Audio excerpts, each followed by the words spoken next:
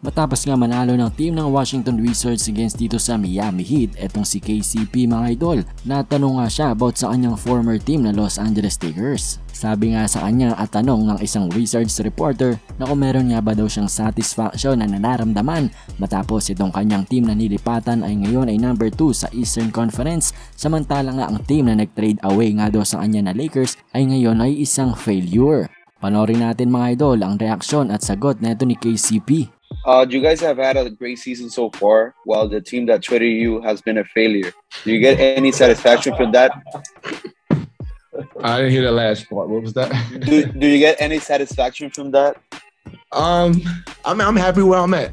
So natawa na nga lang itong si KCP sa tanong sa kanya ng reporter. Hindi nga natin alam kung yung tanong ng reporter ang kanyang tinatawanan o ang team nga ng Lakers. Pero para sa akin nga mga idol, ayon sa aking interpretasyon, si KCP tinatawanan lang naman yung tanong ng reporter at hindi nga yung team ng Lakers.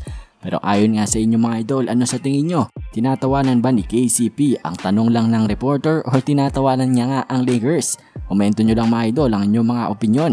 At para nga sa ating susunod na balita ay tungkol nga sa two guard netong Cleveland Cavaliers na si Colin Sexton. Siya nga mga idol ay nagtamo ng injury at kinakailangan nito ng isang operasyon at sabi nga ng Cleveland Cavaliers na siya ay mawawala na for the rest of the season. At sayang naman yan mga idol dahil ngayon ay meron siyang very solid performance sa 11 games sa kanyang paglalaro. 16 points ang kanyang ina-average, 3 rebounds at 2 assists. So yan performance nga yan mga idol ay mawawala dito sa Cleveland Cavaliers dahil doon si Sexton next season pa muli na makakalaro para nga sa kanila.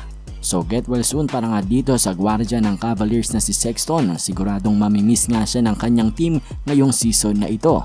At sa ating panghuling balita naman mga idol, Damian Lillard is back matapos ang kanyang 39.7 assists 3 blocks performance against nga sa team ng Philadelphia 76ers.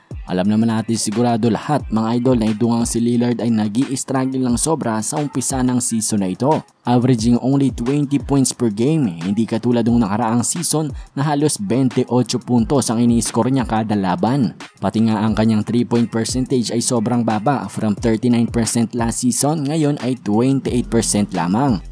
So maganda nga makita na sa wakas etong si Damian Lillard ay mukhang na-overcome na ang kanyang early season struggle at tingnan nga natin kung ito na ba ang umpisa ng kanyang paglalaro ng mas maganda kumpara sa mga early games niya this season.